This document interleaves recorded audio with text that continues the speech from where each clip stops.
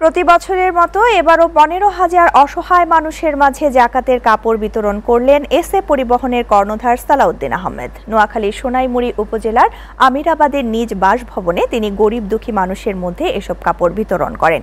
এ সময় ঈদের আগে নতুন শাড়ি, লুঙ্গি পেয়ে আবেগে আপ্লুত হয়ে পড়ে তারা। এদিকে এই আয়োজনে যোগ দেয়া স্থানীয় জনপ্রতিনিধি ও রাজনৈতিক নেতারাও সালাউদ্দিন আহমেদের ভূয়সী প্রশংসা করেন। আর ভবিষ্যতে এই ধারাবাহিকতা ধরে রাখা হবে বলেও জানান পরিবারের সদস্যরা।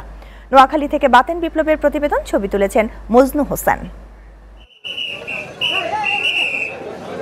আমিরাবাদের সূর্য সন্তান সালাউদ্দিন আহমেদের জন্য বিশেষ দিনগুলোতে এভাবেই অপেক্ষায় থাকে হাজার হাজার মানুষ।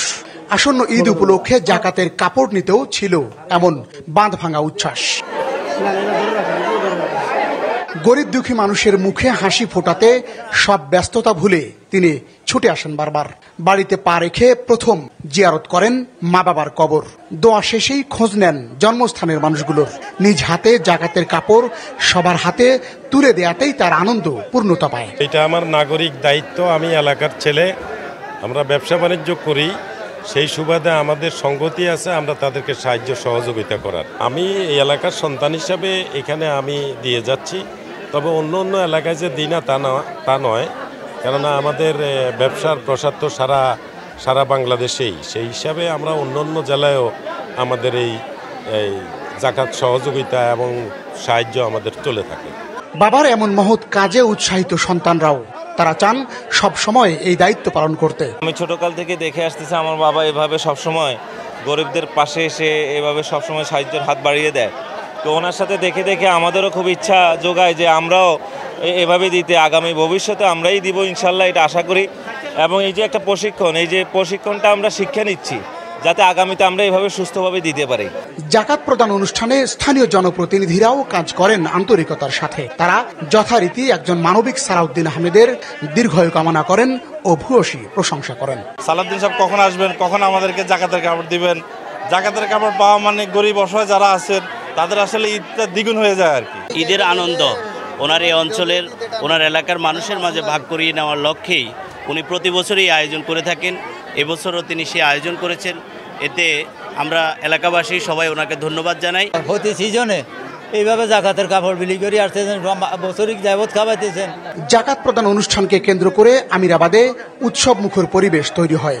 যোগ দেয় রাজনৈতিক নেতারাও। উনি গরিব দুঃখীদের মাঝে যে ঈদ উপলক্ষে বস্ত্র বিতরণ করেন এখানে হাজার হাজার মানুষ উপকৃত।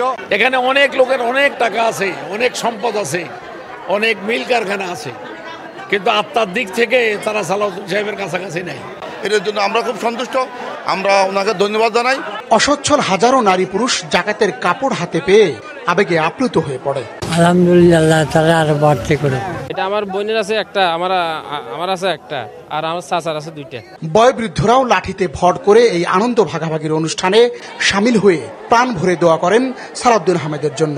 এত মনে হয় আল্লাহ জানে আল্লাহ যেন হেরা টাকা উন্নতি করুক হেরা যেন আল্লাহ সুখী রাখুক হেরা যেন বাঁচাই রাখুক। আমরা জানি কাপড় ছবি নিতে পারি কিনতে পারি।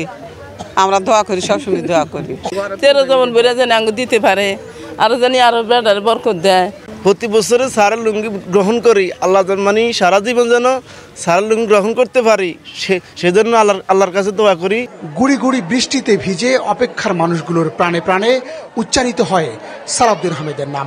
নোয়াখালীর মানুষের কাছে সালাউদ্দিন আহমেদ একটি উজ্জ্বল নক্ষত্র, একটি জীবন্ত বাতিঘর, যিনি ঈদের আনন্দকে বাড়িয়ে দিতে গরিব দুঃখী মানুষের মাঝে মানবতার হাত বাড়িয়ে দিয়েছেন। এটি শুধুমাত্র লোক দেখানোর জন্য নয়। বাংলাদেশের প্রতিটি প্রান্তে এমন সচ্ছল মানুষ, অসচ্ছল মানুষের মানবতার হাত বাড়িয়ে দিয়ে তাদের ঈদের আনন্দ বাড়িয়ে দিক, এটাই তার জীবনের একমাত্র লক্ষ্য এবং প্রত্যাশা। Baten Biplob, S ATV TV, Sonaimuri, Amirabad, Noakhali.